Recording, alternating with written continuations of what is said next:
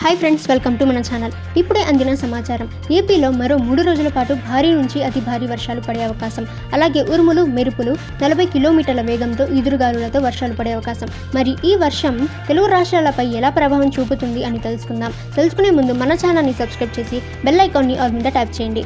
ఇక ఆంధ్రప్రదేశ్ రాష్ట్రంలో ఇప్పటికే భారీ వర్షాలు కురుస్తుండగా మరో మూడు రోజుల పాటు భారీ వర్షాలు పడే అవకాశం ఉందని అమరావతి వాతావరణ శాఖ వెల్లడించింది.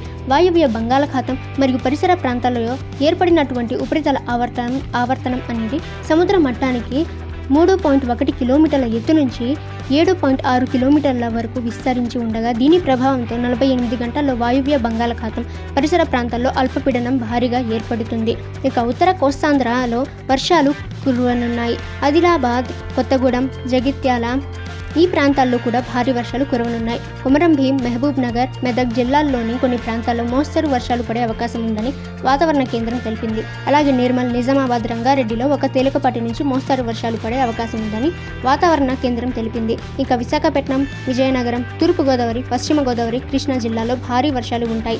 కడప చిత్తూరులో ఒక మోస్తరు వర్షాలు పడే అవకాశం ఉంది. అనంతపూర్లో మరో రెండు రోజుల పాటు వర్షాలు పడే అవకాశం ఉందని వాతావరణ కేంద్రం తెలిపింది. సో ఇలాంటి లైవ్ వెదర్ అప్డేట్స్ కోసం మన ఛానల్ని సబ్స్క్రైబ్ చేసి బెల్ ఐకాన్ని ఆల్ మీద ట్యాప్ చేయండి.